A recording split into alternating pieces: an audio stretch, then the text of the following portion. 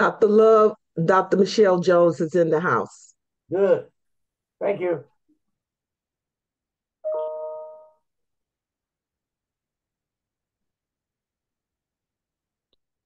Hey, Charles. Betty Wingate is here.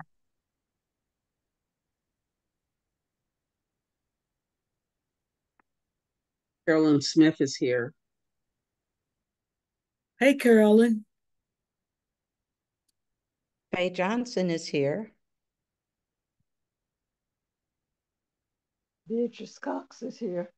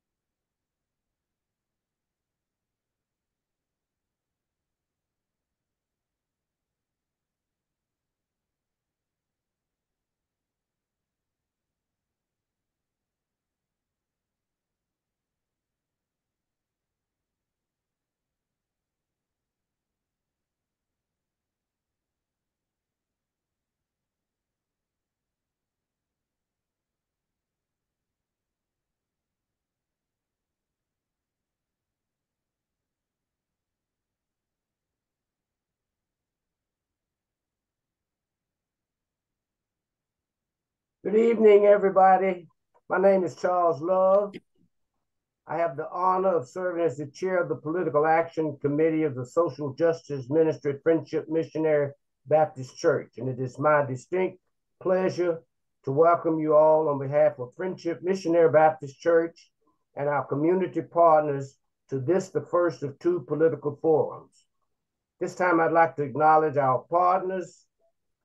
They comprise the members of the Alpha Lambda Omega chapter and the Rho Psi Omega chapter of Alpha Kappa Alpha Sorority Incorporated, Antioch Missionary Baptist Church, the Charlotte Alumni chapter of Delta Sigma Theta Sorority Incorporated, Democracy North Carolina, the League of Women's Voters of Mecklenburg, St. Paul Baptist Church, and Temple Bethel. Uh, this evening's forum will feature candidates running for governor, lieutenant governor, general state auditor, attorney general, commissioner of insurance, labor, and the superintendent of public instruction. We invited candidates for all of the contested positions in Mecklenburg County and the state. They were all contacted by mail, email, and telephone. They were all invited, and all that responded will be here tonight. We'd like to inform you that Josh Stein did confirm that he would be here, but because of the disaster in Western North Carolina, he is there helping with the recovery efforts. We want to announce also that there'll be no questions in the chat because of the number of candidates. And we want to remind you that there is a survey in the chat that we'd like for you to complete at the end of the forum. I'll now have our invocation by Dr. Michelle Jones, the Associate Minister at Friendship Missionary Baptist Church. Let us pray. Divine Creator, thank you for giving us the breath of life. Thank you for the social justice ministry and the various partners in creating this needed forum so we can be educated about the candidates as well as the political process. I also would be remiss if I didn't ask for a continued protection for those who've been affected by the hurricane, because there are those who still do not have water and still do not have power. So I ask that you would continue to give them grace and mercy. But for this immediate moment, thank you for this opportunity to commune with you. Thank you for this opportunity to commune with the candidates. And I ask this prayer in your name, Jesus Christ. Amen. Thank you, Dr. Michelle Jones. I'd like to introduce to you now our moderator for this evening's forum, Mr. Mike Evans. Mike is a retired public accountant, certified public accountant, and certified financial planner. He has managed and or advised political campaigns for the City of Charlotte, City Council, Mecklenburg County Commission, District and Superior Court District Attorney, and the North Carolina Legislature. Mr. Evans. Thank you, Mr. Love. As shown on the screen, uh, we will hear from Council of State offices in the following order. Superintendent of Public Education, State Treasurer, Governor, State Auditor, and Attorney General. I will engage each candidate individually. Each candidate will have one minute for an opening statement and, listen carefully, up to two minutes to address questions that I ask. We ask each candidate to put his or her contact information in the chat when it's their turn to speak so that if there are questions that the streaming audience has that I don't ask, you will be able to contact the candidates directly. Each candidate will also have one minute for a close. Our timekeepers, Shauna Pryor and Katura Clark Withers, will display the time remaining on the screen. So it will be visible at all times and we ask that each of our candidates be mindful of the time limits. So if we're ready, let's get started. We'll start with the Superintendent of Public Education. The Superintendent of Public Education is the Secretary and Chief Administrative Officer of the State Board of Education. The State Board of Education consists of 13 members, the Lieutenant Governor, the state treasurer, and 11 members appointed by the governor. The superintendent and the State Board of Education are responsible for implementing the state's laws for pre-K through 12th grade public schools. The Department of Public Instruction, led by the superintendent, develops the standard course of study, which describes the subjects and course content taught in NC public schools and the assessments and accountability model used to evaluate student, school, and district success. Mo Green, the Democratic candidate, and Michelle Morrow, the Republican candidate, are with us this evening. We'll begin with Mr. Green. Mr. Green, you have one minute for your opening statement. Great, thank you, and good evening to all. Thanks to all the wonderful sponsors for allowing us to have a conversation about public education. I'm going to talk about experience, vision, and soul. Certainly, I believe that I have the experience as a school district leader, including former superintendent of Guilford County Schools, to handle this position exceedingly well. I have managed and led enormous and complex educational organizations. Vision. My vision for North Carolina public schools is guided by a quote from Dr. Martin Luther King intelligence plus character, that is the goal of true education, and combine it with a focus on excellence. That is what we utilized when I was superintendent of Guilford County Schools, where we saw increases in graduation rates, student achievement, and was recognized as a national district of character. And then finally, the very soul of public education is on the ballot this November, and it is going to take champions of public education to meet this moment. Thank you, Mr. Green. We've even got a little music too. All right, if elected, what would be your top priorities? So my top priorities uh, would include uh, focusing on uh, advocating for increased uh, funding for our public schools, uh, increased compensation for our educators, and certainly also improving student achievement. Now, let me unpack each of those. In North Carolina, we find ourselves in 48 compared to the other states with regards to funding of our public schools. And so we must increase that number. Uh, if you compare us to the national average, where the national average is about $16,000 per student, um, Virginia is a little over 14,000 per student. South Carolina is over 15,000 per student. North Carolina is a little over 11,000 per student. So there's need for additional resources in our public schools. Then related to that is where would I put those resources? Certainly I'd be advocating for increased compensation for our educators, particularly our teachers, where again, we find in North Carolina, we're spiraling close towards the bottom uh, quartile uh, with regards to funding of our educators.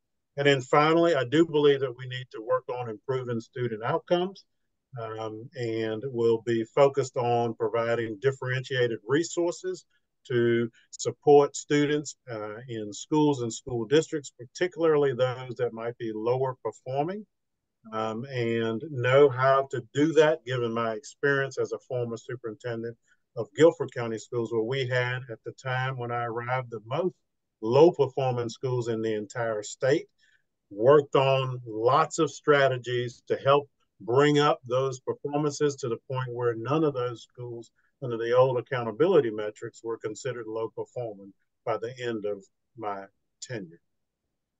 Okay. How would you work with this, the legislature to secure additional funds? Great. So I believe that uh, the way that I work uh, is now a brand, if you will, but it is to listen, learn, and then lead. And the brand uh, that started when I was superintendent of Guilford County Schools is called Mo Wants to Know. And so the way that I operate is I'm engaging with legislators. I will engage with them on a one-on-one basis, hear what their concerns are, where there might be places for us to move forward. I will put forward uh, suggestions of things that we might do as well. And then I also try to work in a very collaborative way, meaning in this instance, that I do believe that this isn't something I do solely by myself. Um, I believe we've got to have lots of different voices um, that might be heard by different people in different ways, but will be understood as a way to increase funding in our public schools. And so we'll be calling on various communities um, to engage with, with me as we put forward reasons why we need to have additional funding in our schools. And then I'll also say this I do think that it also requires uh, that in the General Assembly, many of those members know me because I stood up for, for, for example, with public school educators when they tried to take away their career status. We filed a lawsuit to prevent that for those who had already earned it. I was the only individually named plaintiff in that lawsuit.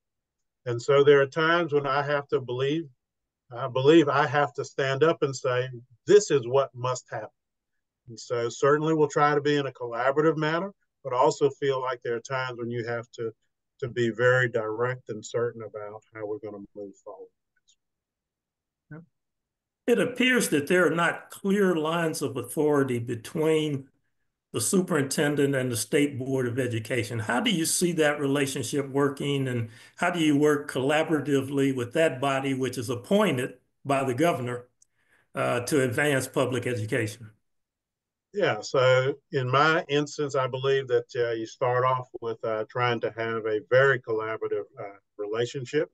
Again, at this point, I rely a lot on my career experience. Um, and so going back to when I was superintendent of Guilford County Schools, I actually arrived in that position on a seven to four vote. So that means that there were four folks who immediately wanted someone else to be their superintendent. But it was because of the way that I operate that Mo wants to know methodology, if you will, the collaborative way that I operate, that it was only a several months later that folks said, you know, and a couple even said on TV, live TV, we made a mistake. We should have hired Mo Green of those four. So that's the way that I work. And in this instance, as it turns out, I believe that uh, we'll start off with a, in a very good place because um, the leadership are folks that know me well. For example, the current chair, Eric Davis, you know, he was from Charlotte Mecklenburg Schools. He knows my work from when I was um, deputy superintendent, chief operating officer, and general counsel there. And the vice chair is Alan Duncan. Alan Duncan was uh, the board chair for Guilford County Schools when I was superintendent of Guilford County Schools. So we'll start off, I believe, with a um, you know, very um, w- with a relationship that I think will start off in a very positive way right from the out. You have said that a bold vision is needed to improve the public education system. Do you have that bold vision? And if so, what can you share with us? Absolutely. So the vision is, as I shared earlier, we'll utilize a, a quote from Dr. Martin Luther King Jr. Intelligence plus character. That is the goal of true education and combine it with a focus on excellence. And so I tell folks all the time, like when I was in superintendent of Guilford County Schools, there I said, we're going to be the very best district in the state. Now I'll be saying the same thing about where we want to land as a in the across the country. And so that vision then will require a number of activities and uh, have a set of pillars, if you will. Folks can go online to see more of the information and more detail. You can go to mogreenfornc.com and look up pillars, and you'll start to see how we will execute on it. But it will include things from, you know, revering our educators, um, to lots of work with um, curriculum and standing course of study, um, to um, certainly working with lots of our children and employees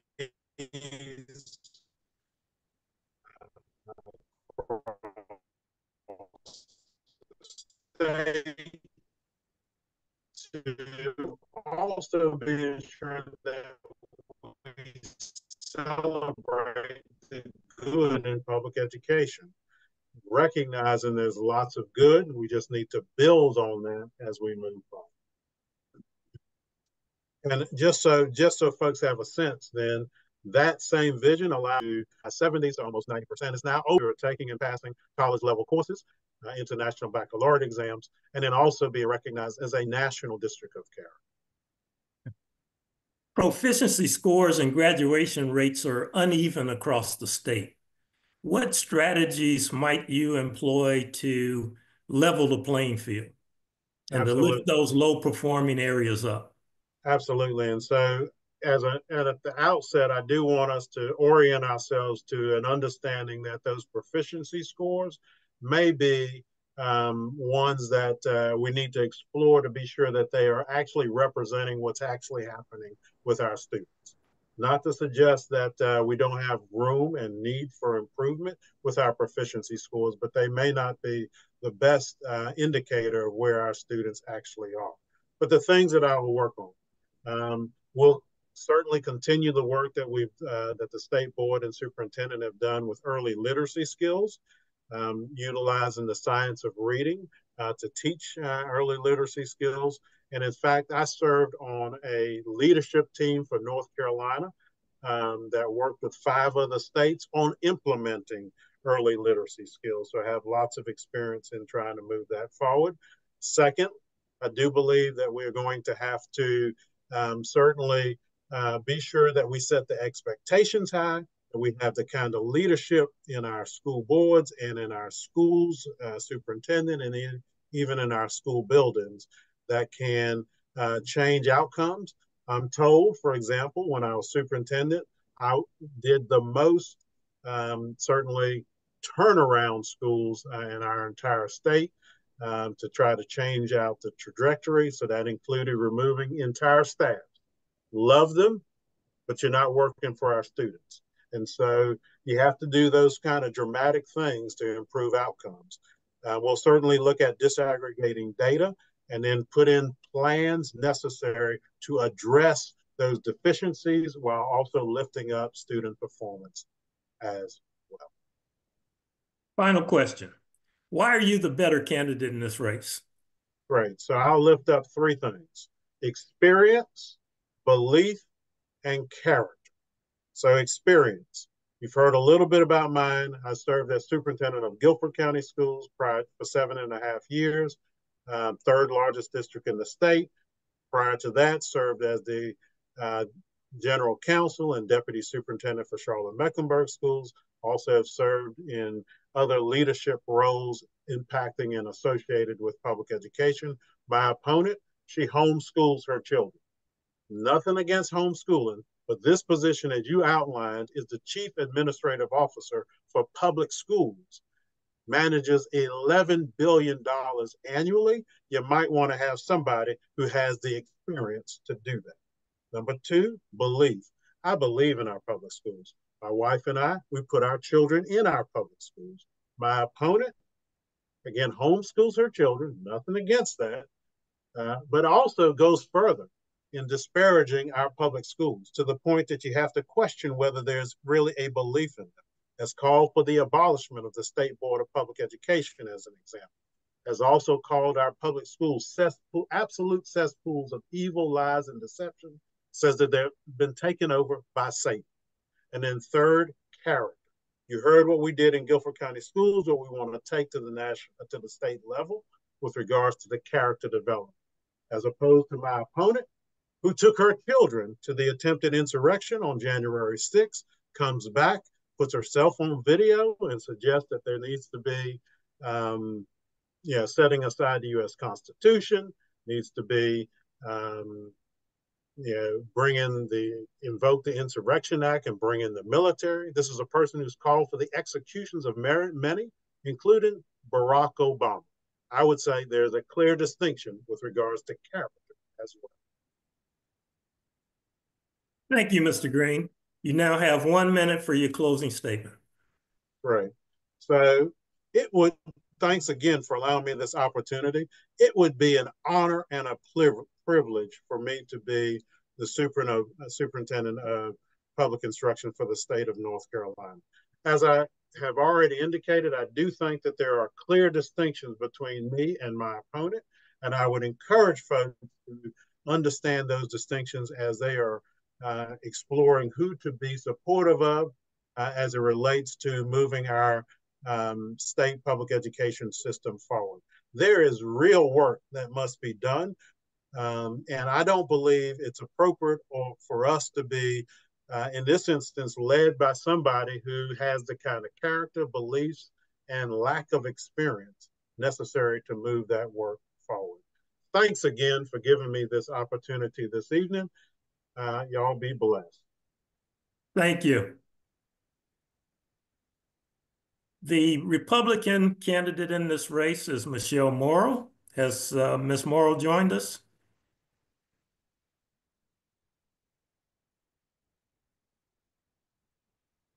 Hmm.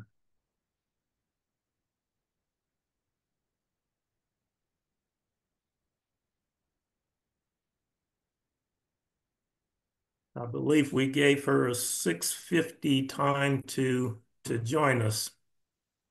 Hmm. Bye-bye. All right, Mr. Green. Thank you.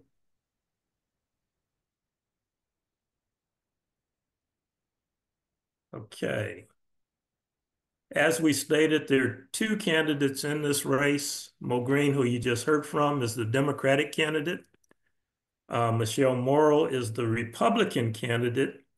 Uh, note that Michelle Morrow defeated the incumbent superintendent of public instruction in the Republican primary. So this is an open seat with the two candidates running against each other. And I'm hoping that Ms. Morrow will join us at any minute here.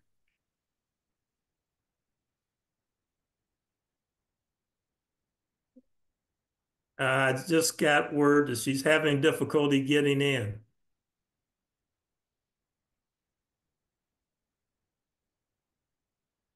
Can we address that shortly? She's not in the waiting room, sir.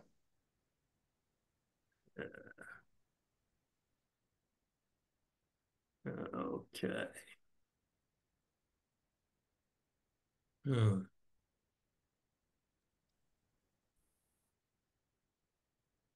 Okay, and we have given, uh, let me just explain how this uh, has been organized. There are eight candidates to come before us this evening, and each was given uh, an approximate time to uh, join us. And uh, unfortunately, as mentioned earlier, we did have a cancellation uh, with Attorney General Josh Stein, who's uh, hard at work uh, with the hurricane relief effort in the western part of the state. So we've been trying to juggle uh, our schedule to meet the needs of the candidates. Some have told us they can only appear at a certain time and they need to jump off the call at a certain time. And uh, we've tried to accommodate them as best we can to maximize the number of candidates uh, that would participate. Uh, so our next candidate uh, is Wesley Harris, and we gave him a 710 slot, and I know he's not on the call yet. Um,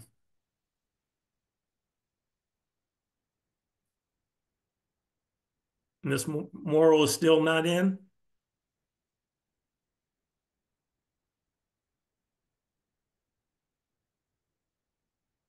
I think she's being given instructions. Uh, Sir, she's not in the waiting room. If she wants to reach out to me directly, I can help her get in. Okay. I think Miss Evans may be communicating with her right now.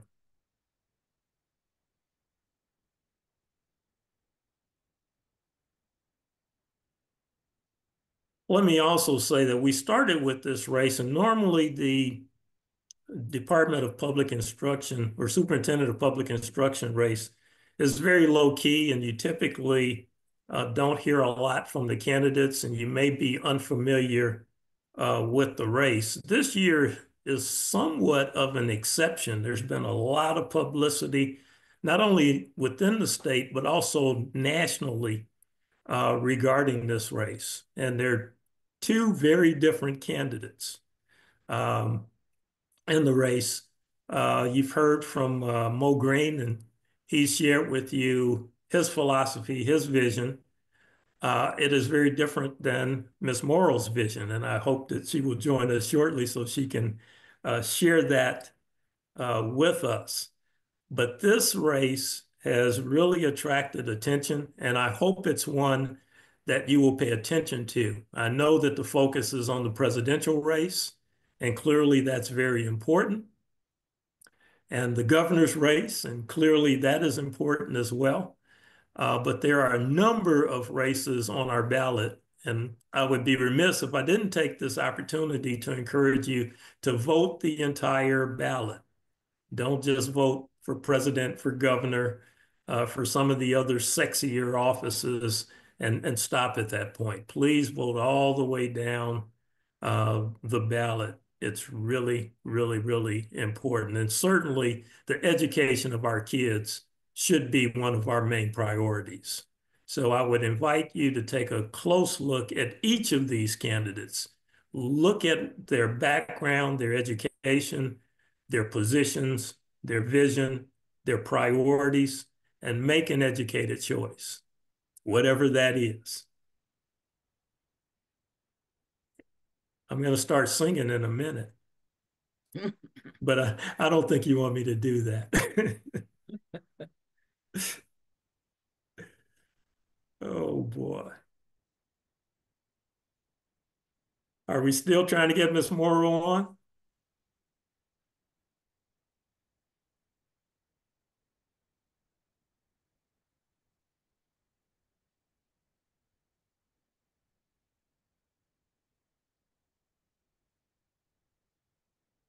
And I, I apologized for the delay. Um,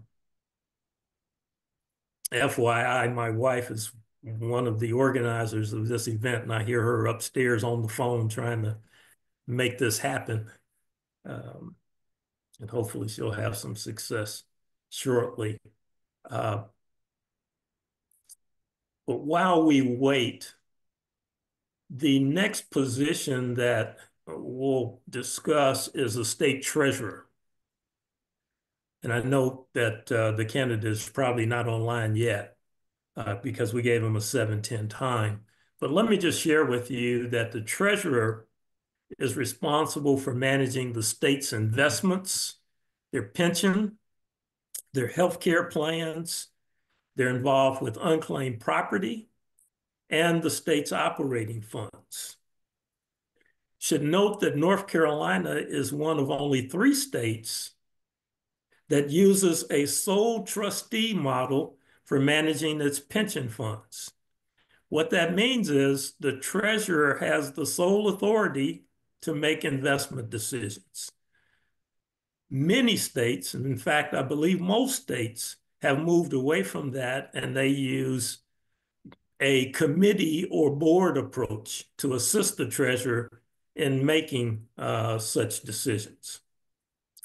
Our current treasurer uh, ran for governor in the Republican primary. He was not successful. So this is an open seat. And the current treasurer has received a fair amount of criticism uh, because he invested state pension monies relatively conservatively. Um, his first rule, I guess, was not to lose money.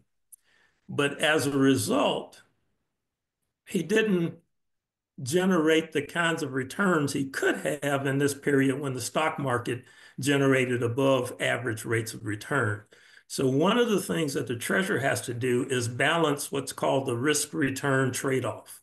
How much risk am I willing to take? And as you well know, that if you only take a little bit of risk, your potential return is low. And in order to generate higher rates of return, you've got to take on more risk. And each state has to decide where they want to be on that spectrum to try to balance risk and return. Um, it is also interesting to note that North Carolina enjoys a triple A credit rating. What that means is we are able to borrow at the lowest cost among our, our peer states. Uh, our finances are considered to be uh, in good shape, and, and we want to maintain that AAA credit rating. That is the role uh, of the treasurer. We will hear from one candidate tonight, the Democratic candidate for treasurer, uh, Wesley Harris. He does have Republican uh, opposition. Uh, the Republican candidate uh, did not elect to participate, but we should have uh, Mr. Harris online in about uh, 10 minutes or so. Okay. Has Ms. Morrow joined us?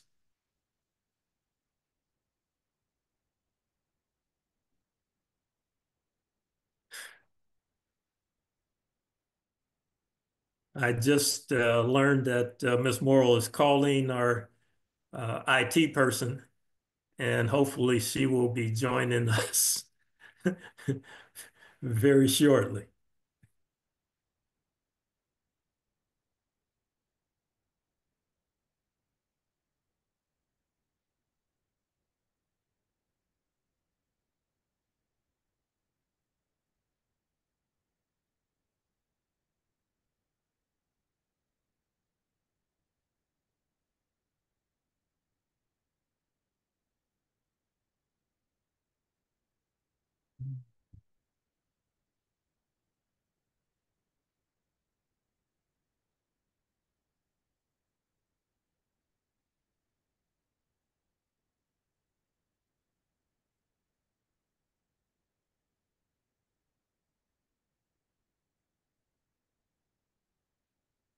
Uh,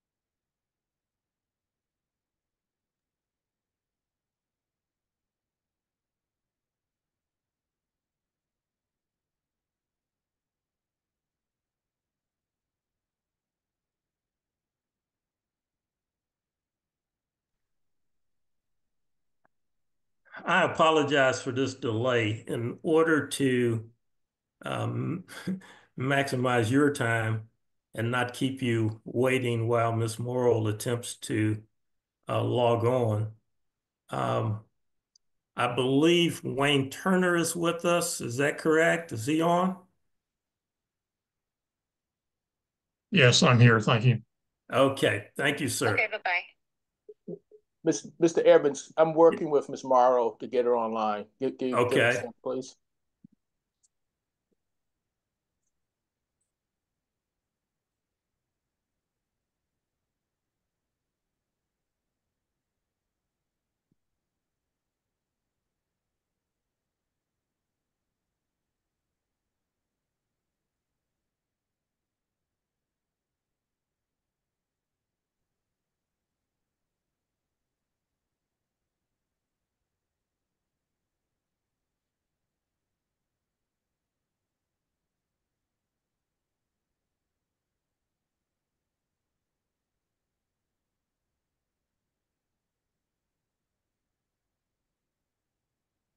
She's going to try a different phone, so she's she's trying that now.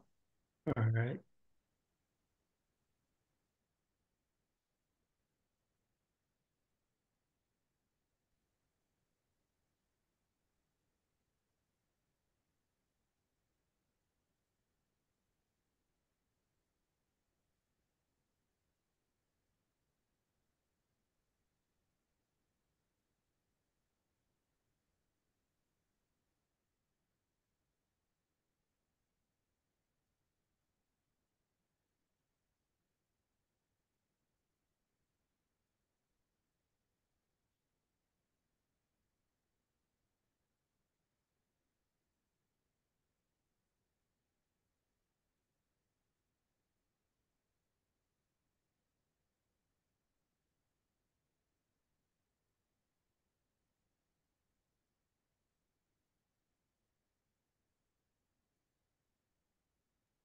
Kate, is are you Michelle Morrow?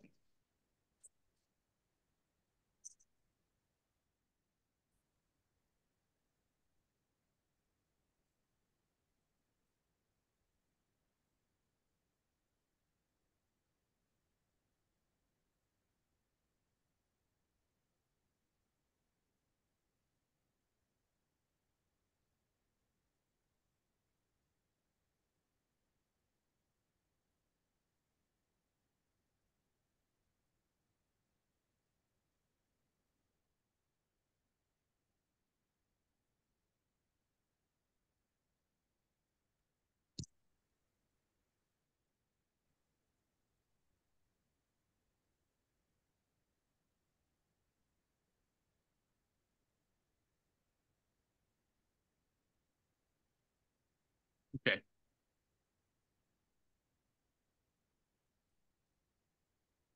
Are we making any progress? Uh, Kate, um, there are a couple people that just joined. Are any of you uh, Miss Morrow or her campaign manager?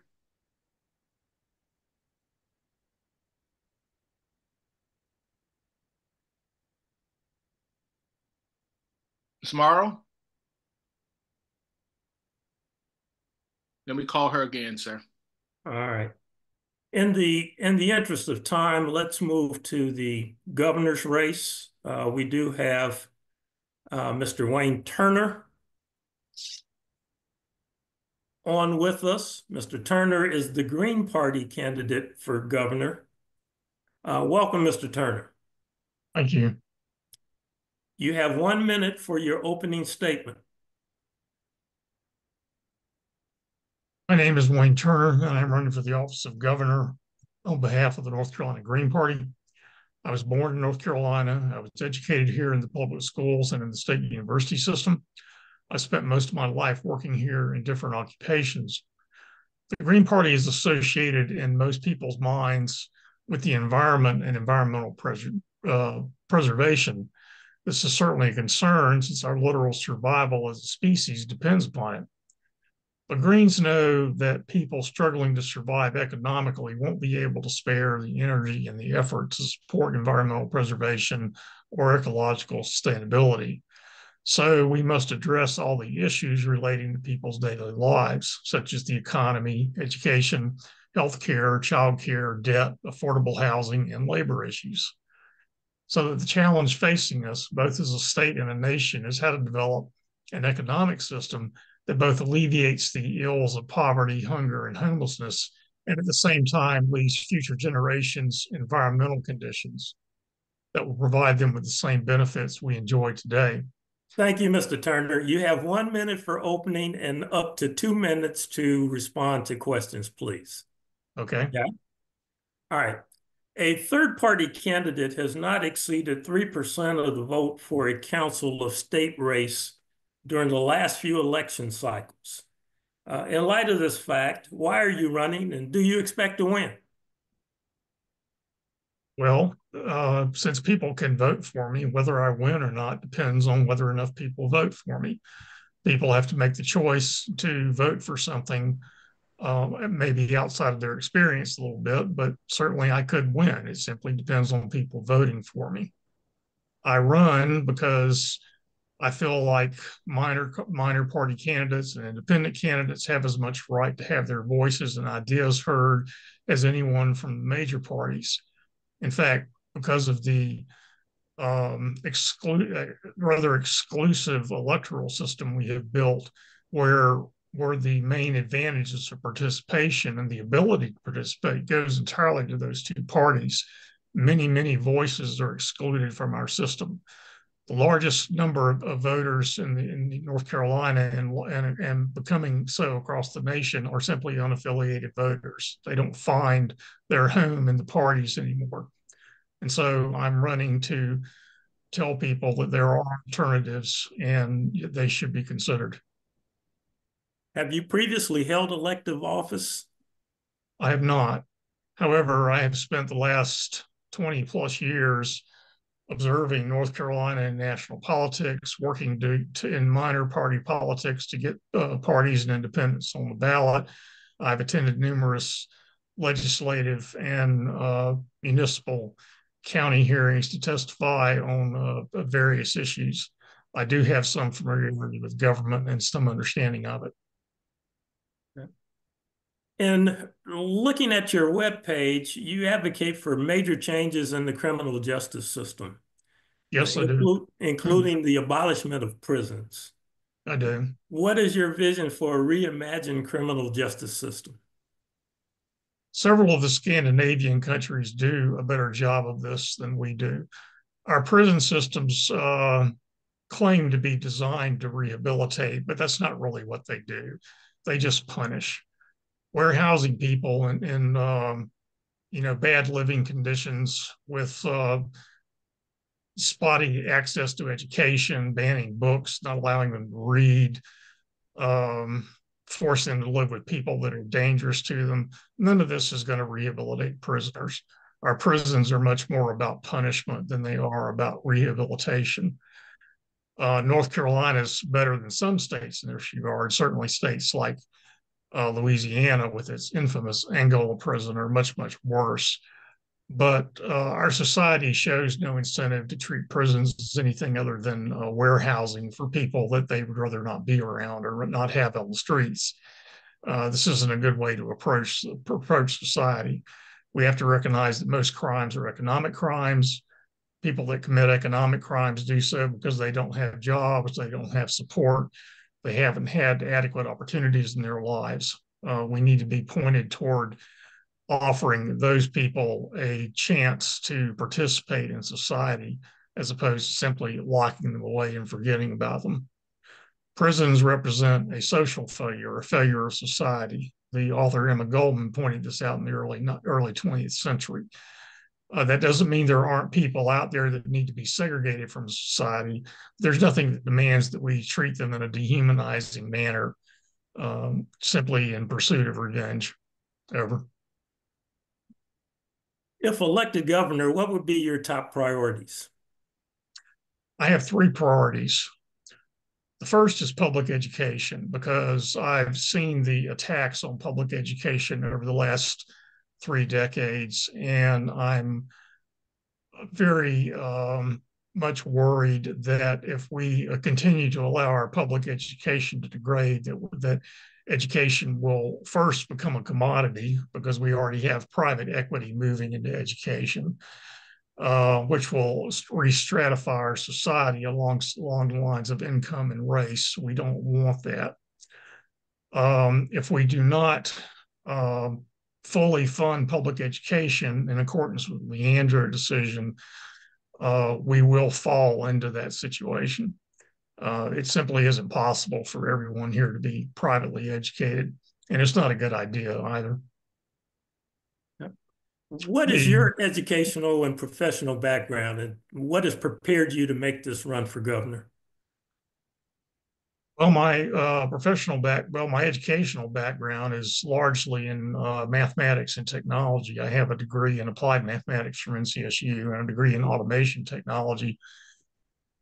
Um, and of course, I've spent much of my career working in different fields, but it just hasn't all been. Um, I mean, I've been a research engineer. I've taught mathematics, but I've also worked in the trades and have a pretty good appreciation for the ver- the range of various jobs across that people can occupy across the uh, the t- the spectrum of work. Um, the challenges the state is facing today are really not any longer. Um, excuse me, I have a technical problem. Um, don't seem to be falling uh, before our um, business as usual approach. We need new ideas on how to handle ourselves economically in this time. Um, for example, I believe the state should uh, implement public banking uh, following the North Dakota model. Um, I believe um, that the um, the breadth of my experience, my my uh, the depth of my education, and my um, almost insatiable desire to understand everything there is about our state and the people that live and work in it uh, qualify me to uh, pursue this position. Yeah. Why are you the best candidate in this race? Well, I probably just partially answered that. Um, as I say, I, I, don't feel that the way we've been approaching economic problems in, in North Carolina have been over, overly successful. We have lots and lots of people moving to the state, but we don't have services for them. We continuously cut our public budgets and expect that the private sector will pick these things up, but the private sector is not going to allow us, for example, to have universal health care. The private sector is not going to solve our child care problems. We have roughly only 15% of the working families in the state can access child care. The state's going to have to step up into this. Um, we, we need to consider uh, new forms of economic activity like worker cooperatives as opposed to trying to uh, attract out of state businesses that simply uh, vacuum up our money and then export it elsewhere. I believe um, these ideas, along with my work experience, make me the best candidate. Thank you, Mr. Turner. You now have one minute for a closing statement.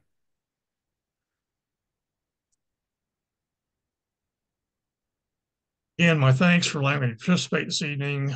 Uh, I noted that in my opening statement, or would have noted that our responsibilities to the future, our children and subsequent generations deserve clean air and water, and also a chance to live their lives to the fullest extent and work and play. We have to do several things to achieve this.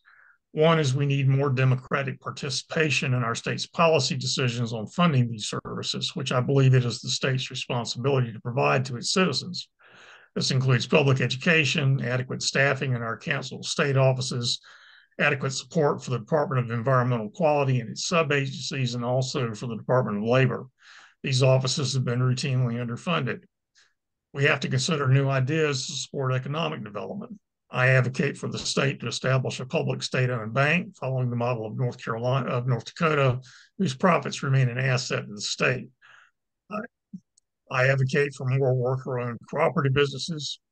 We have to begin to educate the broader public about the environmental impacts of our economic decisions and start weighing the need for immediate economic benefits against the impact on future generations. Thank you, Mr. Turner. Thank you for your participation. Best of Thank luck. you. Okay.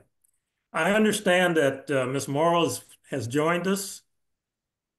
Yes, sir. I'm here. All right. We have heard from your opponent in this race, Uh-huh. and now we want to hear from you. So you have one minute for an opening statement, and then we will give you up to two minutes to address some questions that I will pose after your opening statement. Okay, sounds perfect. Yes, You now I- have the floor. thank you. I am Michelle Morrow, and I am a nurse, a teacher, a mom of five, and a very concerned citizen. And I am running for to be the next state superintendent because I want to bring safety. I want to focus on academic excellence. I want to expand our career and technical and vocational trainings across the state of North Carolina. And I want to ensure that our finances, our hard earned tax money, is going into the classrooms first instead of upper level bureaucracy and administration. I am very concerned with the literacy crisis, with the exodus of students and staff from our schools across the state, as well as um, the increase in drug use and violence and gang activity um, across North Carolina. And I have an idea to um, to get back on track for North Carolina uh, schools. What plans do you have to increase the safety of our children? I absolutely want to increase the amount of um, student resource officers in all of our schools. I would like to see even a statewide student resource officer um, uh, program so that we're actually preparing them so that they have the training that they need um, and they can serve our students and our staff. I also want to bring about a code of conduct where our consequences are going to be very clear for those students who are disruptive and keeping our other students from being able to learn. Um, the number one reason why teachers give for leaving is that they the lack of discipline, the chaos in the classrooms, and that they are not able to um, to actually teach. There's too much going on behaviorally. And so we have to make the number one role of administrators to create a culture of civility and respect and discipline so that learning can happen. Um, and I want to ensure we need metal detectors clearly. We also need video surveillance um, in, in our schools so that we know who's on our property outside as well as what's going on inside of our schools. And um, all of that all of that is going to make our schools the safest buildings in the state. I have already created a school safety advisory council of professionals from North Carolina and beyond, and they are looking at best practices throughout the entire country to determine what we can implement at the statewide level to make sure that every student and every staff member is um, is safe and able to learn and able to teach. Have you previously held elective or appointed office? And why the superintendent of public instruction of, of all offices? Yes. Well, I will tell you, I think that education is the most important issue on the ballot, quite honestly. It is our future. Education and the quality thereof determines the, the future of businesses as well as every student's success as an adult. And that's why I'm doing this because um, I have, I, I was just on the executive committee with uh, the GOP. I ran for school board here in Cary in 2022. I was not successful, but for the last six years, I've actually actually been an advocate, um, a legislative liaison with the General Assembly, meeting with school board members and county commissioners, as well as um, members of the K through 12 committee in the Senate, as well as the state house, in trying to bring reform that's going to focus on academics for every student rather than the activism that we see that we have seen in past years that's robbing our children of the sound basic education that our constitution um, promises every school aged child in this state. Um, so I have the answers. I think we definitely need somebody with that's outside to have to bring in some practical common sense solutions to what we are dealing with. And that's what is probably one of my greatest qualifications. I'm not entrenched in the bureaucracy. I am not indebted to the system itself. I believe that the system is here to serve our students and not the other way around. And I believe that our students are filled with potential and it's our job to help them to, to figure out what are they good at, what are they passionate at, and to prepare them to be able to enter into the workforce and pursue careers that will make them not only financially independent, but it's also going to be something that can give back to the community and um, and be uh, personally rewarding for each individual. What do you believe uh, is in your educational or professional life that has prepared you to run such a large agency and to work collaboratively with the State Board of Education, which is an independent body appointed by the governor? Well, you know, I have been, as I said, I, I'm a nurse of 31 years. So I've been in the emergency room as well as the neurosurgical ICU. I was the only medical professional in the most remote county of the lower 48 states responsible for keeping people safe and um, for um, for safety and, and wilderness survival um, for hundreds of people every year. And I have, as I said, I have been working with legislators in order to pass legislation.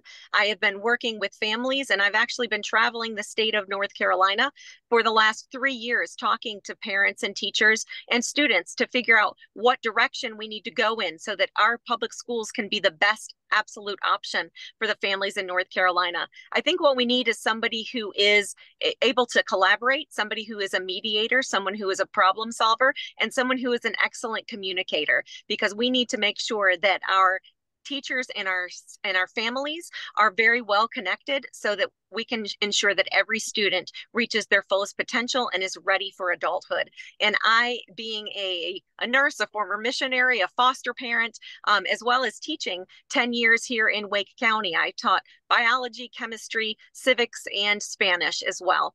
And so i have I, my kids have been in public, private, and homeschool. I have a great grasp on what works in all three of those and maybe improvements that need to be made. And so I think that I am the absolute perfect person for this because um, I have ideas, but I've also surrounded myself with people that have been in the education field for decades and they all support me and they want to be a part of my administration and moving forward and making sure that our schools are the best in the country and an example for everyone else to follow. Is there a contradiction between running for this position while homeschooling your kids?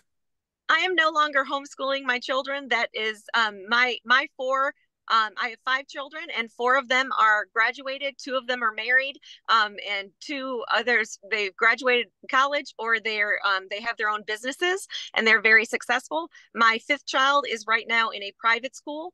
Um, I would be more than happy to not pay that fee and put him into a public school, but the public schools that we are um, districted to have horrible um, horrible rates of, of violence and bullying and there's also issues with uh, low literacy rates in both math and reading. So my husband and i are choosing to do what is best for my for my son that's still in the home.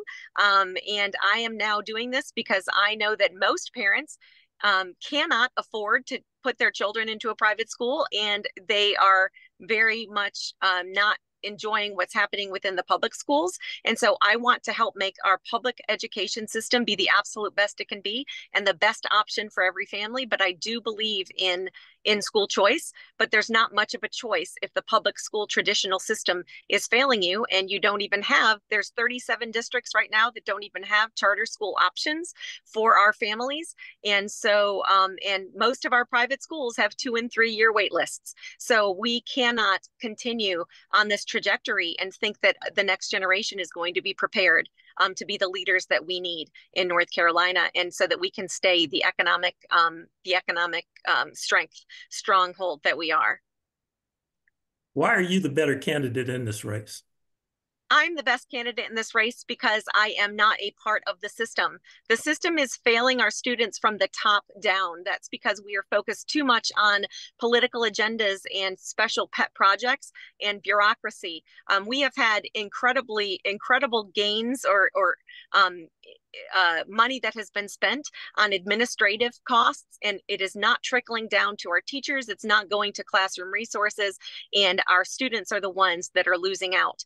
And so i i come at this and i am i am coming to be um, to stand up for students, to stand up for families, to focus on the staff, the boots on the ground staff. And my opponent has already spent years um, answering to um, to big money groups and ra very radical political organizations, and he wants to double down on that happening in our schools. And we cannot continue. Our students are not prepared they're not able to compete in the marketplace And um, I have just as an anecdotal story, a friend of mine that is a professor in Cornell, and he has said that he can tell when a student has graduated high school out of North Carolina because they are so much less prepared than other students that are coming to his university um, from around the country. That is not what we want to be known for in North Carolina. We want to remain, um, we want to be number one in the country. And I believe that we can do that, but we have got to focus on what is important, and that is academics, and that's safety and discipline in the classroom, and that's expanding the um, uh, vocational education for our 62% of students that don't go on to a four year degree immediately after high school. Yeah. It's one topic I must touch on. Uh, there have been several controversial statements attributed to you. Uh-huh. And in, in fact, your opponent uh, brought up some of those. Uh, sure he did. Yeah. Uh, it's been reported that uh, you mentioned that former President Obama should be killed, that uh, President Trump, former President Trump, should have used the military to stay in office. And there have been disparaging remarks regarding the LGBTQ plus community. Uh, are those statements true? Do you were they made by you? And if if so, wouldn't that be disqualifying for someone running for this office? Um, there there are statements that have been completely taken out of context yes and i will tell you and everyone that is listening i have been making videos and talking to the public and reporting on things for the last seven years it is not hard to find um, five and six second clips um, out of three and 400 hours worth of video. And I would be, I would caution anyone um, to think that uh, everybody, everybody uses hyperbolic speech. Um, but, in, and I mean, people, when, when, uh, President um, Biden said that he wanted to take President Trump behind the woodshed and teach him a lesson or two. Nobody actually thought that that was honest and true. Um, but this is very serious. It's serious because uh, my opponent if you will look at the mailers and the amount of, of commercials that he's putting on television, he has done nothing for the last seven months but attack me and malign me and take things out of context. And he has never discussed anything that he wants to fix. He actually has said that his goal is to celebrate this current system. This current system is not serving our communities. And that's why we have the highest attrition rate for teachers ever seen in the state of North Carolina. Did you know that almost 50% of our students are not on grade level in math or in reading? These are serious issues. And if he's just going to continue to talk about things, I can understand. Listen, if I didn't have any ideas or how to solve anything, if I was just going to be a pawn of the bureaucracy like my opponent is going to be, I understand why he would be attacking me. But oh, um, oh, are you are you cutting me off? No. Uh, oh, it says leave meeting. No, you're still good. Okay. Anyway, so I can say I, I am not a politician. I am not a perfect person. I have not always said things in the way that they should be said, but they were, but it was also done in jest or hyperbolic and it was done with in personal comments. These were not posts. And so okay. I would, I would tell everyone, um, you know what our students are suffering and we need somebody outside of the system who has the ideas has the passion and has the history of making changes um, to be at the helm thank you yeah. thank you sure. okay uh, one last question the north carolina general assembly has been moving public funds away from public schools and toward private schools um, there's also questions about the curriculum uh, that is currently being administered in our schools and the use of uncertified teachers. Uh, what are your thoughts regarding those topics? Well, I would say this: there there is a misunderstanding that the funding that is going toward the I'm sure you're referring to the private school vouchers that is not actually coming out of the um, K through 12 budget. That is surplus money that has been that has been um, brought into our state that has been collected in our state over the past few years. So it's a completely separate entity. And I would say this: I totally believe that anybody that is receiving tax money needs to be accountable in terms of the academic success of their students. And I think that that's going to be true of anyone that's getting our taxpayer money. But the way that we are right now, as I stated, there are 37 districts that have a lot of failing schools in them and they have no charter school options. So do we just want for those students to just be be left in a school that's not fulfilling their needs, their academic needs? No. This has to be just a short term a, a short term response to the literacy crisis that we're facing and to the um, to the dangerous situation that a lot of children find themselves in in our schools with the 84% increase in drugs and violent crimes within our schools. Um, and so this is not something that i would say is a long-term solution. I think that this is just in response to the learning loss that we saw during covid and now the the very slow gains that we're making. We're looking at potentially we're coming up on four and five years that our students have not gotten the education that they need. And so it's time for us to do something just to rescue our kids so that we don't lose them in this generation.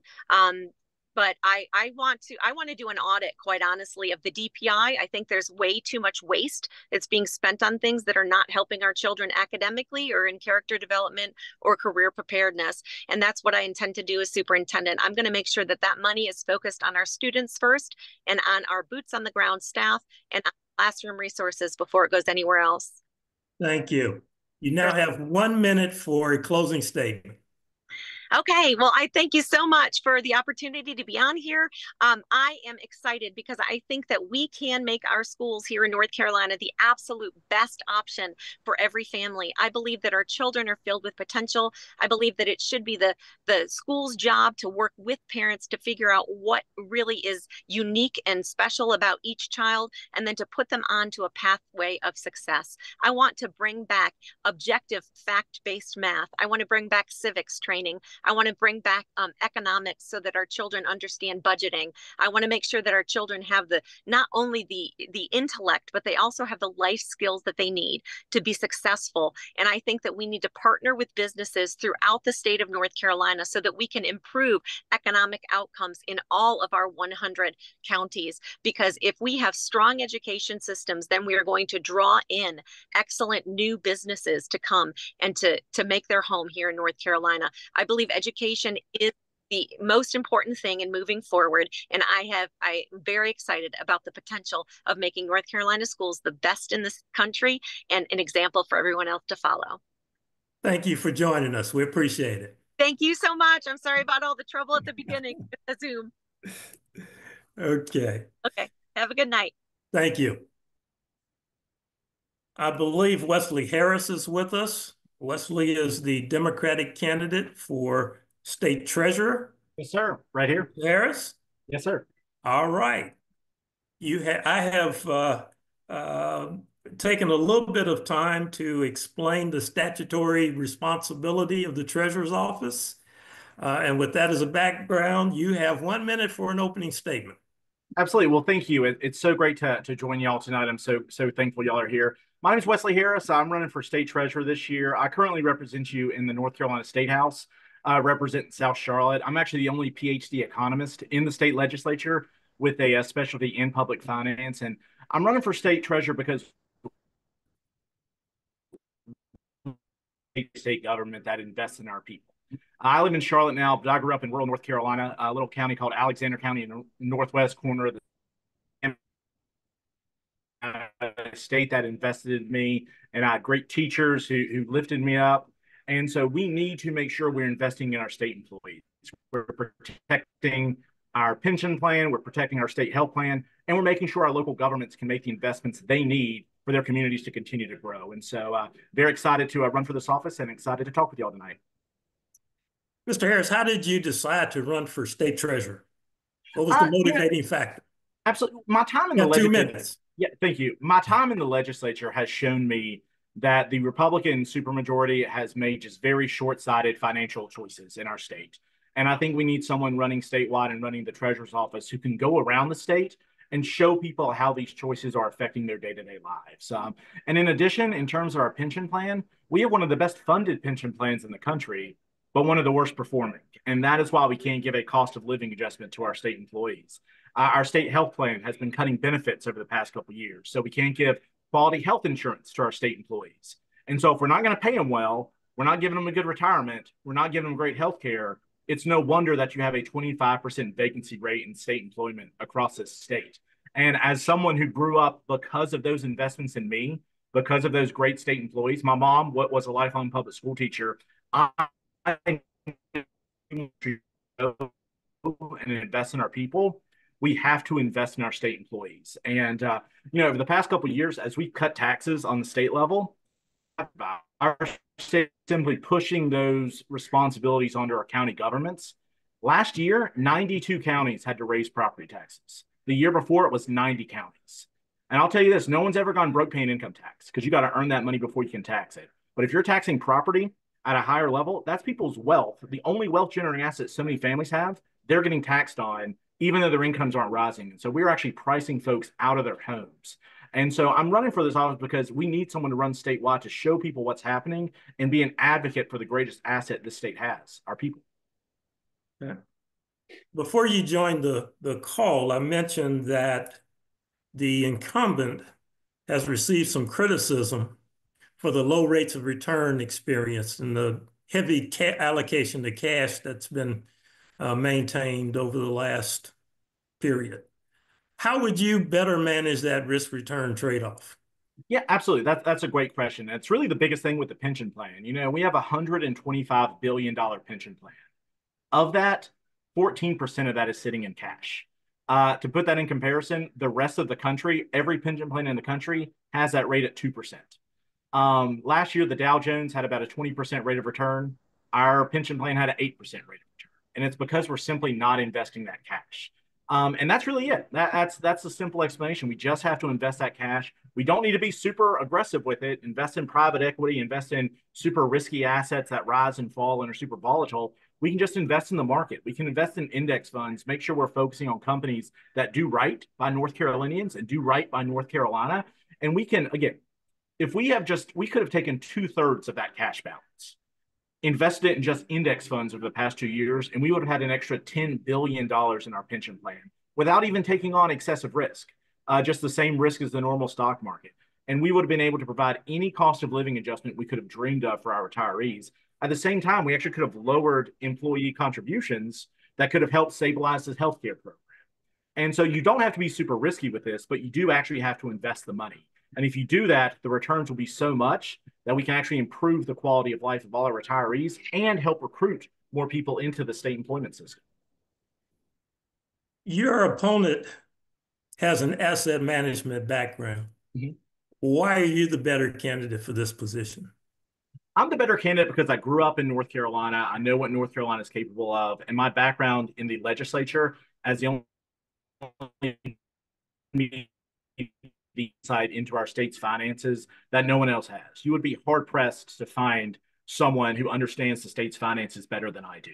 Um, and before I was in the legislature, I was an international tax consultant, and I worked on valuing assets, very complex companies. And so I have a background in, in, valuing assets and portfolio and putting and looking at portfolios and how they perform. And everyone who depends on the state treasurer's role has endorsed me in this race. The North Carolina Association of Educators, the State Employees Association of North Carolina, the Professional Firefighters and Paramedics of North, the Association of North Carolina every group that actually depends on the pension plan, depends on the state health plan, has endorsed me because they know I believe the to manage our plan in an appropriate manner, not give it to their Wall Street buddies, but actually invest in our people. And additionally, my opponent actually wants to give away the power of sole fiduciary to the legislature. He wants a committee to determine how those investments are. And in North Carolina, if you give it to a committee, you give it to a committee of the legislature where they get to pick who manages your money. I want to keep accountability in the office where the voters have the say on who gets to manage their money, not Phil Berger and Tim Moore collected with their political cronies. Looks like you anticipated my next question. Uh, again, one of the things I mentioned before you came online is uh, we're one of the few states that has the sole trustee model. Mm-hmm. Uh, so my question to you is, do you believe that that's the best governance structure or should we go to something else? I do believe it's the best government structure, and, and I apologize for my uh, for my signal. I'm actually in the attic of somebody's house at another event I was in, but uh, uh, hopefully it'll it'll stay uh, stay fixed. But what the what the structure does now is it gives accountability. It makes sure that the voters get their say on who manages their money. Um, and again, if they manage the money poorly, they get voted out of office. And, and I think that is the most important piece because if you do not have that level of accountability, you get appointed somebody appointed that they are not accountable to the voters. They are not accountable to the people. They're accountable to the special interests. They're accountable to their political counterparts that put them in that position. And so if things need to change that the voters want to change, they have no control to change that. And so I'm a very large opponent of making sure that we have that level of accountability. That's why I'm running on my background. That's why I'm running on my vision for North Carolina. And I think that's why everyone who depends on the pension plan has endorsed us for this race. And I'm honored to have their endorsement. We've put a lot of emphasis on managing pension fund assets, but the state treasurer has other responsibilities. What do you view as the major responsibilities of the office and how would you undertake them? Uh, sorry, you broke up right when you said which which area. Could you repeat that? My question is, uh, what other responsibilities other than pension management uh, does the state treasurer have, and how would you go about undertaking those responsibilities? Uh, thank you. Yeah, thank you. Thank you for that question. Um, so they manage the state health plan. They're the chair of the state health plan, and they manage the local government commission. Uh,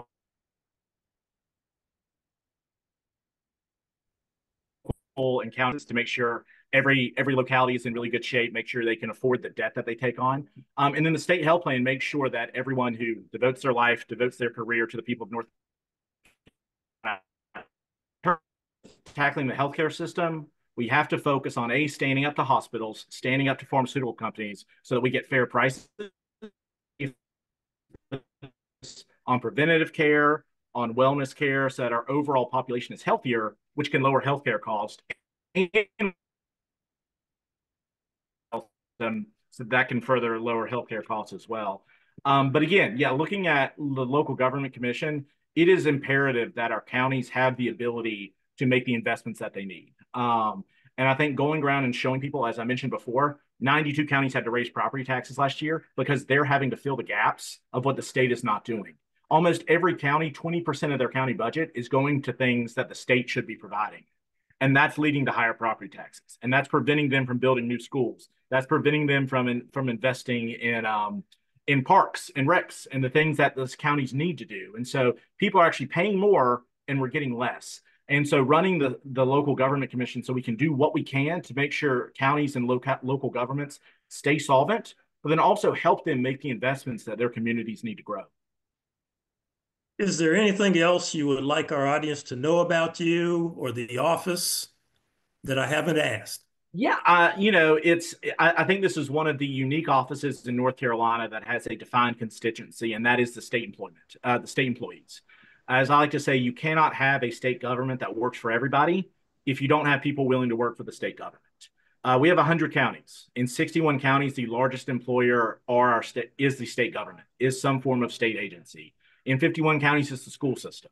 And so if we want our economy to grow, if we want opportunity to be in every single county in this state to have that potential, we have to invest in our state employees because they are the ones. It doesn't matter what policies you pass in the legislature, doesn't matter what you do on every level of government. If you don't have good people out there working for the government, then you're not going to have a good government. And so making sure that we do right by the people who invest who devote their lives devote their careers to the people of North Carolina is one of the greatest things about this job and something I'm so excited to go out there and make sure that we're investing in them. Okay. Thank you, Mr. Harris. You have one minute for a closing statement. Thank you. And, and thank you all again so much for joining us. Like I said, my name is Wesley Harris. I'm running for state treasurer because we have every single potential in North Carolina this year to show people what it's like to have a state that invests in them. You know, we're the only state, we're the only swing state in the country that has a, as high of a rural population as we do. So, in order for us to really succeed, we have to bridge that urban rural divide more so than any other state in the country.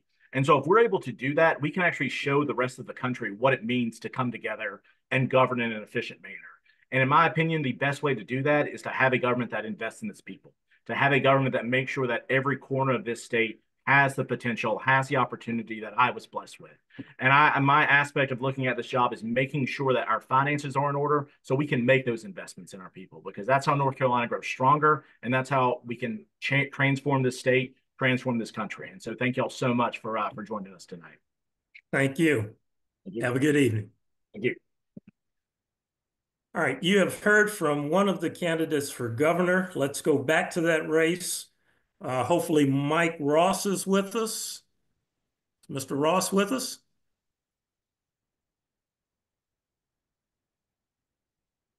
Hmm.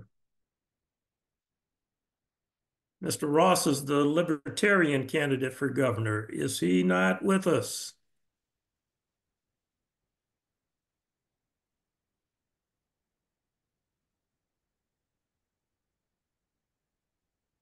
Okay. We'll then move to the state auditor race. The auditor, auditor's office examines all areas of state government to implement government services and uncover wasteful spending by conducting financial statement audits, performance audits, investigative reports, and information technology audits. The office also conducts special studies as requested by the General Assembly. Most states require the state auditor to be a CPA. North Carolina uh, does not. Uh, I believe we have uh, two of the three candidates running for state auditor uh, joining us this evening. Uh, hopefully Bob Drach is with us. Yes, hello, Bob Drach here. Nice to talk to you. Thank you. Bob is the Libertarian candidate for state auditor. Uh, you have one minute for an opening statement. Yeah, well, th thank you very much. Uh, apologize for my video. I look like a Rembrandt painting, but that's we'll live with that tonight. My name is Bob Drach. I'm a candidate for North Carolina State Auditor. I'm a certified management accountant. And so uh, I'm an accountant running for auditor, which sounds kind of kind of like you would expect, but as you outlined in your introduction, that's not required in North Carolina. So I am the only accountant that's running for North Carolina State Auditor. My opponents are both uh, are both lawyers. So i am running strongly on my resume. Not only have I got a, I'm a certified management accountant, I worked for over four years for Deloitte. Deloitte is one of the leading uh, accounting, audit, tax, consulting firms in the uh, in the world, and I've got a, a master's of business degree uh, from uh, Stanford University. So I've got strong professional credentials for this role, and I appreciate you uh, appreciate your consideration for North Carolina State Auditor, and I appreciate the music also. Absolutely. I'm going to ask you uh, a series of questions. You'll have up to two minutes to uh, respond. The first question is, have you previously run for or held elective office or appointed office for that matter? And can a libertarian candidate win a statewide race? Okay, uh, I'll answer the, the, the, previous office question first. Um, I've not run for an office. I have been appointed to the uh, New Hanover County Board of Equalization and Review. I served for four years on that board. Uh, for those of you familiar with uh, equalization and review, the county assessor will look at property values throughout the county. If somebody disagrees with their assessment, they will um, try to resolve that with the assessor's office. If they can't resolve it, that gets um, appealed to a board of equalization and review. So I uh, spent four years listening to uh, property owners explaining why they disagreed on their property assessments. Uh, I listened to this to the state to the state um, analysts and, and heard their rationale, and I would, uh, with my fellow board members, side with either the uh, county assessor or the uh, the um, citizen. And as a as a libertarian candidate, I believe power to the people, and um, I'd often uh, make sure I listen carefully to the citizens' arguments and and uh, favor the citizen where I could. Uh, now, can a can a libertarian win a statewide office? Well, uh, I'll tell you what. When I'm out canvassing, and I tell people that I'm an accountant, uh, they say, "Yeah, I've got you know we should have an accountant." And and when I explain to people that I'm independent, I'm not a Democrat or a Republican. I don't have a conflict of interest uh, because libertarians are, are are not prevalent in state government, uh, and that's a compelling argument. Uh, we want our we want our auditor to be an accountant. We want an auditor to be independent, and we'll talk a little bit more about that. But um, uh, I think of of all, I think of all uh, offices, the auditor is a great one for an independent candidate. Okay. What motivated you to run for statewide office? Well, for, uh, for state auditor specifically. Yeah, state auditor specifically. I, a lot of you are familiar with the mess that's in the state auditor's office. The prior state auditor, uh, she had to resign because of ethical issues. Now, account the, the accounting profession is all about ethics. The uh, the uh, current state auditor is a political appointee, and um, I looked at that back in December, and I looked at my skill set. I've explained I'm an accountant. I've got a I worked for a big accounting firm. I've got an MBA from a from a great university.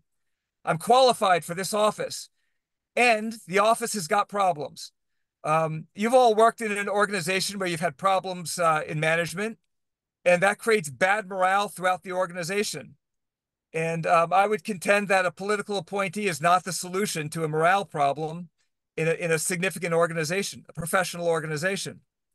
Uh, so this is an area where I think I can uniquely serve the citizens of North Carolina. I believe strongly in public service. I was a Peace Corps volunteer early in my life, so I've got a track record of, of public service and sacrifice. I think it's important to the community, and I think it's an obligation of all of us who have the ability to serve to uh, to do it when when we can be of service. So, um, for all those reasons, I'm running for North Carolina State Auditor. If elected, what new policies or procedures would you implement in the office? Well, my my uh, agenda for the first 12 months of office would be triage. I've already mentioned that there are there are issues in the office. Um, the staffing levels are down 20% from from their peak. The um, the number of audits that have been issued by the that have been uh, published to the state website are down by 20% since uh, April of this year. And um, there's a significant issue with, with both staffing, morale, and output at the office. So I think we need to focus on supporting the good people in the state auditor's office. We need to recruit and retain uh, uh additional professional staff. We need to um, start measuring our performance based on um, throughput in the office. Make make sure we're doing the the uh, financial audits that are required and taking on as many investigative audits as we possibly can. And we have to leverage our people with technology. Um, you know, uh, we know the rate of technology is moving so rapidly. Uh, whatever level of technology we have in the state auditor's office, we need to improve that.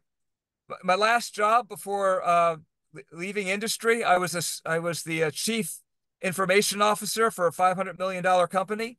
So I understand technology and how to implement and how to how to use it to leverage uh, leverage the human resources in, in, in the business or in this case in, in the auditor's office.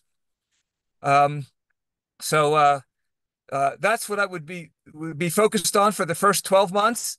And um, I, I think the auditor's office just needs to get restored to a state where it's it's uh, uh, performing the duties of finding waste, fraud, and abuse, and making sure that the resources of the state go to the go to the intended recipients. You cited your your MBA and your CMA and some of your professional experience, but have you served in an audit role book previously? So I've worked with auditors. I have not served in an audit role in the in the uh, formal sense that the American Institute of CPAs requires. Um, so that is a distinction between my accounting experience and that of a CPA. Uh, you know, in this race, uh, there's good, better, best. I think good is a qualified professional, and both of my opponents are uh, good people. Uh, better is someone that has an accounting background and years of experience working with auditors, uh, working in the accounting profession, and that's me. And then best would be a CPA. And uh, we don't have that choice in North Carolina this year. Um, so uh, I think any voter can look into the, to me and my opponents and, and make that same conclusion. Thank you. You now have one minute for a closing statement. Well, thank you very much. Um, I've talked a little bit about the importance of independence, and you asked me about uh, the you know can a libertarian win a state uh, audit race? Uh, the American Institute of CPAs, the professional organization that uh, that kind of runs the audit profession, they say that an auditor should be independent in both fact and appearance. Well, when you have Democrats auditing Democrats or Republicans auditing Republicans, that does not appear to be uh, independent. There's an inherent conflict there. So my opponents are conflicted. I am the only candidate that's a, a certified management accountant and a, uh, a independent in both fact and appearance. I have the qualifications, and I would ask people to look at the race, look at my qualifications, and vote for Bob Drach for North Carolina State Auditor. That was perfect. Your timing. Thank yeah, you. I like that music.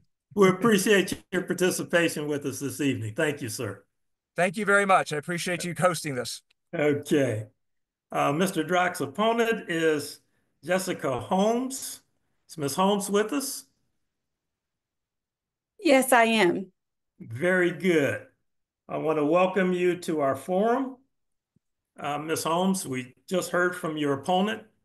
Uh, we will allow you one minute for an opening statement, up to two minutes to respond to questions that I pose, and then a minute for a closing statement.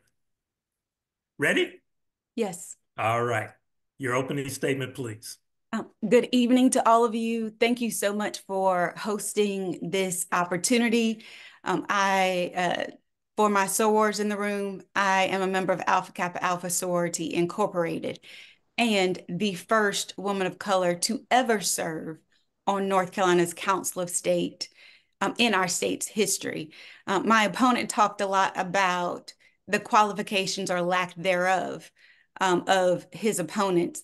That said, I'm the only person that has ever been elected by the people to serve in any level of capacity.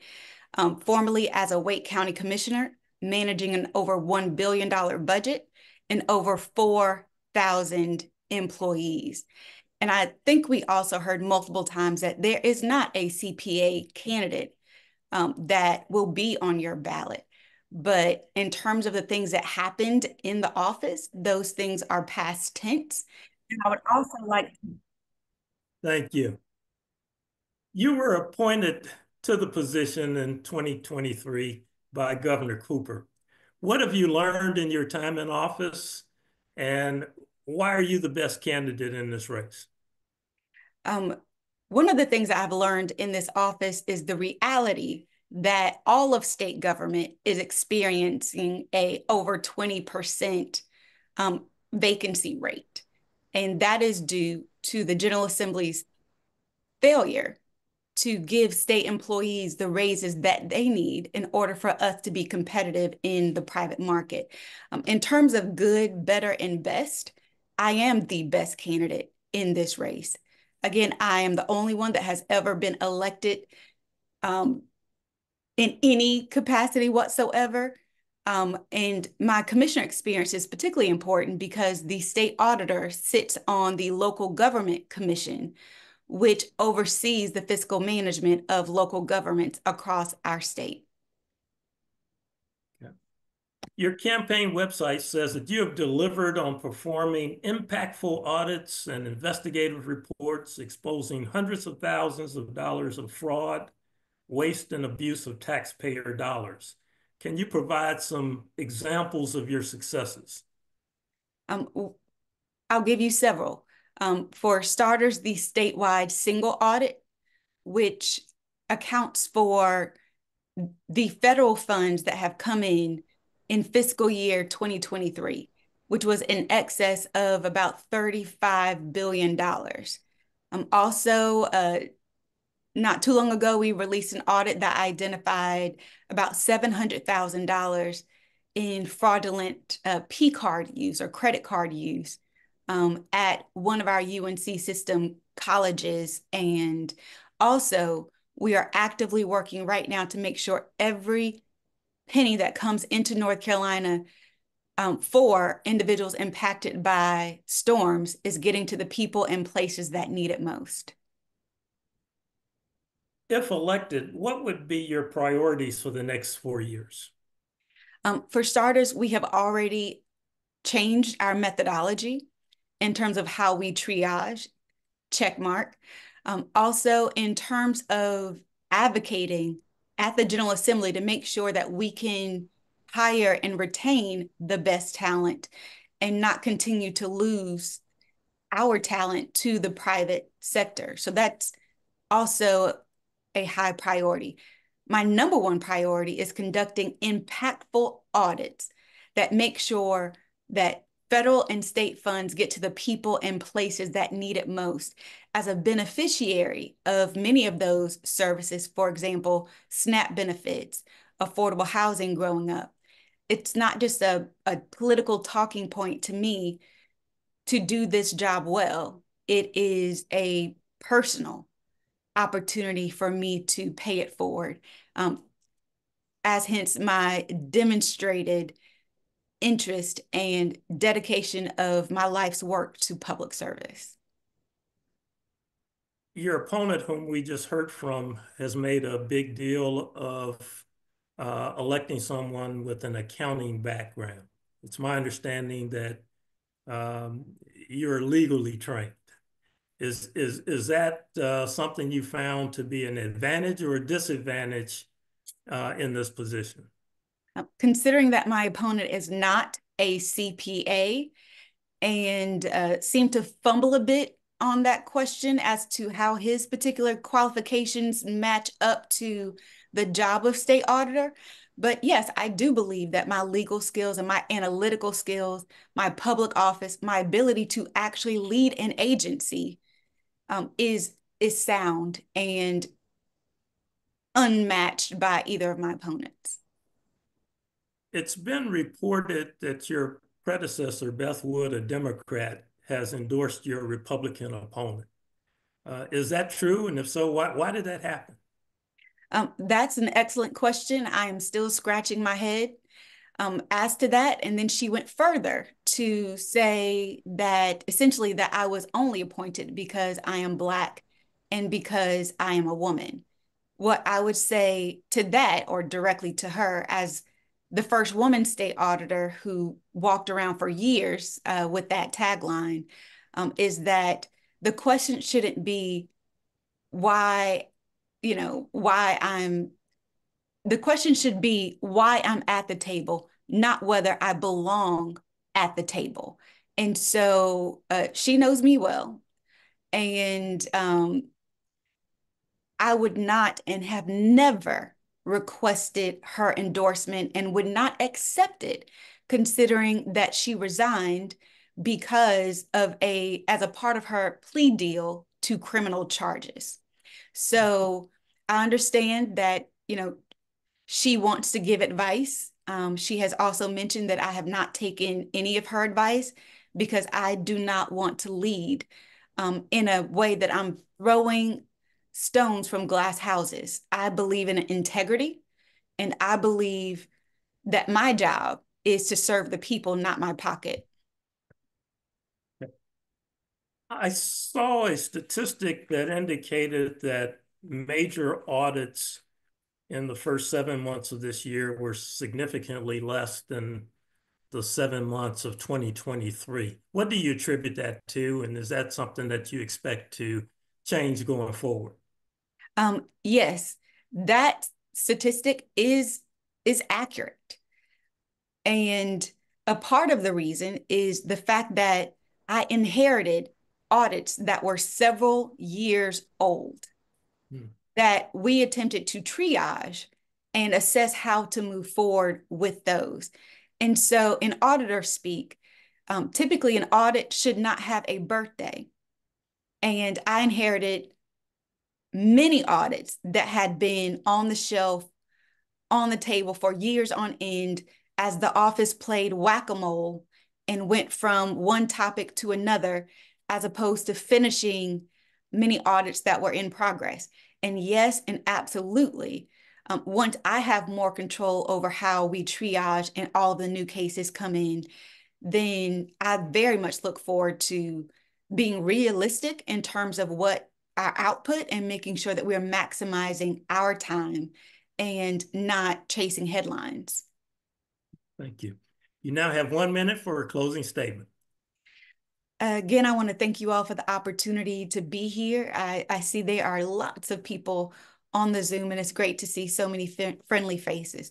But again, if we're going from good, better to best, then I am the best candidate in this race, not because I'm Black and not because I'm a woman, because but because I am the most qualified candidate and has actually been elected by at large in Wake County by over 1 million people who said yes to Jessica. And Thank I'm asking you, so you all to do the same. Okay. Always ask for the vote. Thank you. We appreciate it.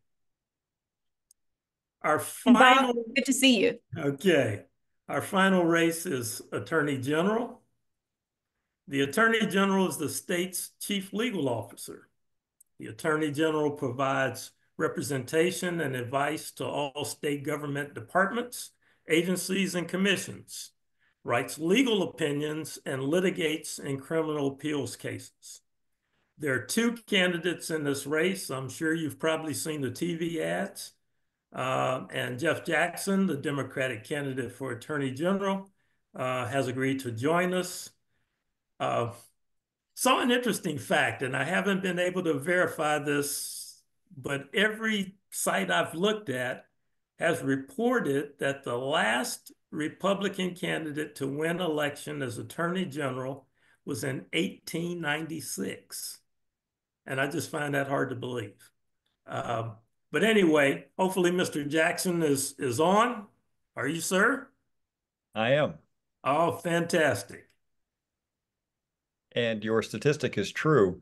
It's actually one of the longest unbroken streaks in American political history. We did have a Republican serve as Attorney right. General about 40 years ago. He was appointed. We have not had one elected since the late 1800s. Wow, that's great. That puts a little pressure on you. Okay, you have one minute for an opening statement. Thank you. Good to see all of you. My name is Jeff Jackson. I'm running for Attorney General. I currently serve as a member of Congress for our 14th district. That's basically the bottom half of Mecklenburg and most of Gaston County. Before that, served in the state senate for four terms. Before that, was an assistant district attorney in Gaston County. And before that, served with the Army in Afghanistan. I am currently a major in the National Guard. This is my 22nd year in the military. I'm running for Attorney General because I've seen how Josh has done that job. I saw how Roy Cooper did the job before, and I believe they used this position as the people's attorney. It's your job to be a shield for people against those who would mean them harm, whether it's folks pushing fentanyl into our communities or scammers coming after your bank account or folks polluting the air and water. That's the essence of the job, and that's what I would like to do with the job. Thank you. Mr. Jackson, you and your opponent are running what appears to be dueling ads regarding who will keep us safe. Why are you the better candidate to keep us safe, and what will you keep us safe from? Um, I have been a prosecutor. That's the first bullet point there. My opponent has never prosecuted a single case. The fact that I have served as a prosecutor means that I've worked with law enforcement. My opponent has never worked with law enforcement. If you look at his ads, they're written by consultants using all of the buzzwords that you would use. What I'm trying to campaign on is actual experience having done the job. Attorney General is our state's top prosecutor. It really is not designed for someone who has never prosecuted a single case. What would I keep you safe from? Give you a quick example. I think uh, the fentanyl issue is day one. Everybody's entitled to know what your day one issue would be as Attorney General. Mine would be combating the fentanyl epidemic. Here's how. The General Assembly did something good a few months ago. They passed an anti-money laundering law. We were a state that didn't have one. It goes into effect in December.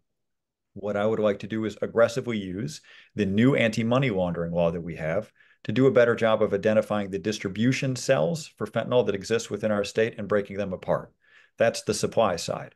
On the demand side, the gold standard for saving lives for fentanyl users is called medicated assisted treatment. Josh Stein did a very good job of informing our General Assembly about why they should support medicated assisted treatment. About a third of our counties are doing a good job using that. My job is to partner with the other two thirds to push it out and to save lives.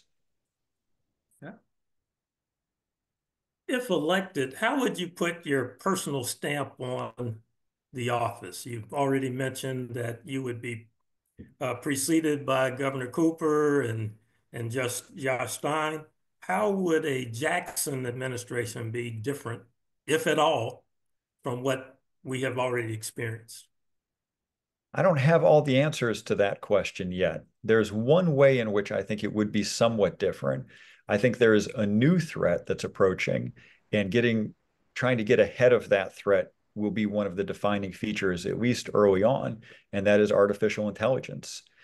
I think the next round of scammers will have artificial intelligence, and that will make them much more sophisticated.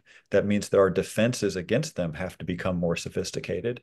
My plan is immediately after being sworn in on January 1, go to the state legislature and ask them for tools to help basically create a very hostile rep reputation as a state for that type of predator to achieve some level of deterrence before this technology is so cheap that it's everywhere. We have to, those folks have to know you do not want to come to North Carolina. They will treat you with a special level of hostility. And I need the General Assembly's help in order to help me do that.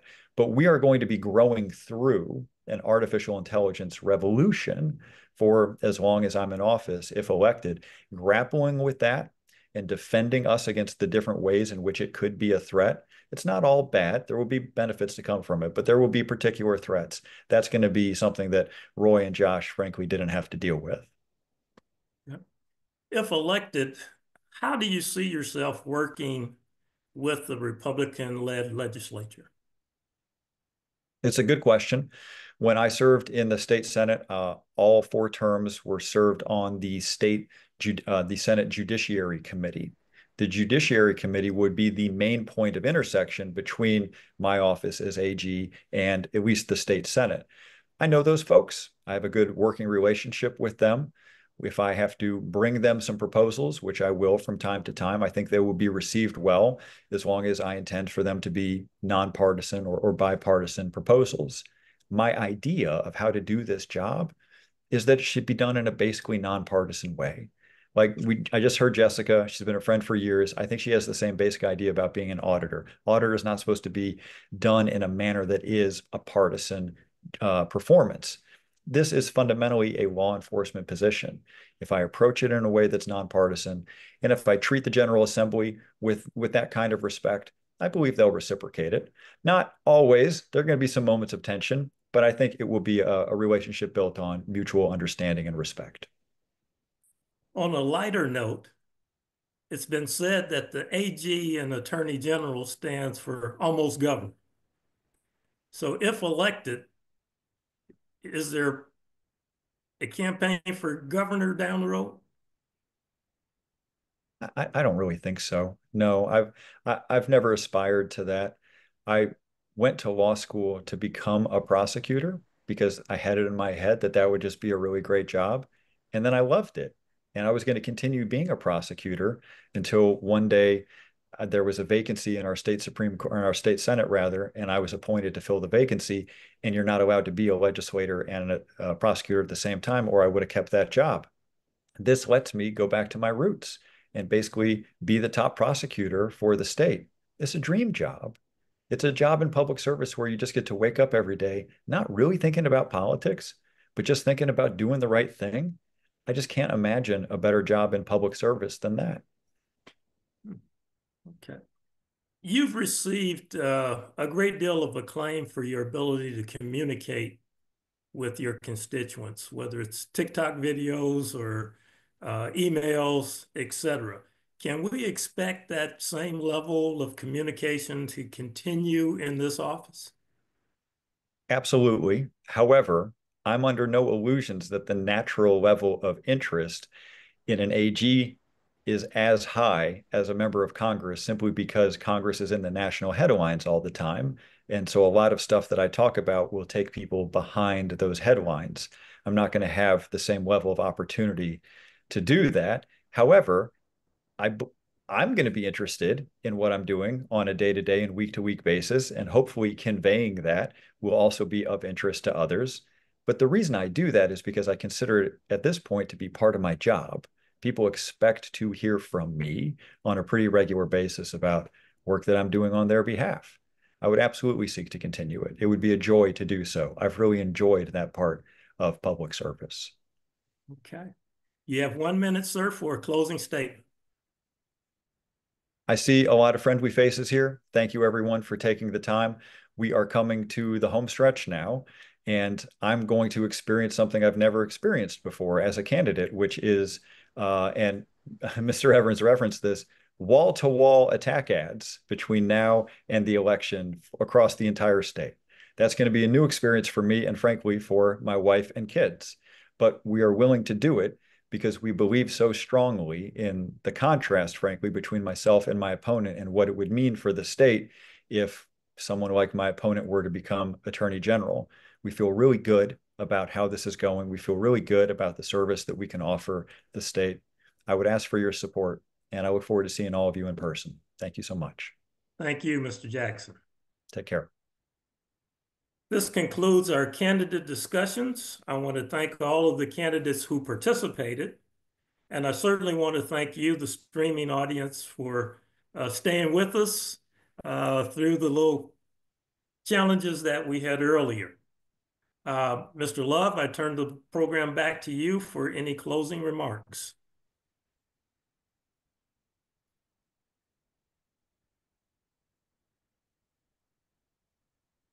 I'm sorry, I was trying to speak on mute. Let me express my sincere thanks to you, Mr. Evans, for doing such a fantastic job as moderator. I'd also like to uh, thank Miss Withers and Miss Pryor, our timekeepers. I do have a few announcements, as you will see uh, scroll across the screen. Uh, October the 11th is the deadline uh, for registration. Early voting in North Carolina will begin on Thursday, October the 17th. Absentee ballots due October the 29th. And the deadline for receipt of, of the absentee ballots is on November the 5th, election day, which is also on November the 5th. I have two announcements that you will not see on the screen, and that is there will be a voter unification uh, stroll to the polls. It, will be an awareness to engage our community. It'll, it'll, it'll start on uh, Sunday, October the 20th. We will start at Friendship Missionary Baptist Church and move uh, to the regional library on Beatties Ford Road. We'll start at 11.30 until 2. The second announcement is the Health and Wellness Ministry will partner with One Blood Drive on October the 27th from 10 a.m. to 1 and it will start at, at Friendship also. Again, thank you for all who participated. We welcome you back uh, next Tuesday, same time, for the second installment of this political forum, at which time we will have candidates for the Supreme Court in Mecklenburg and the state uh, positions and, and, and the city council. So uh, thank you again and, and good night. Thank you.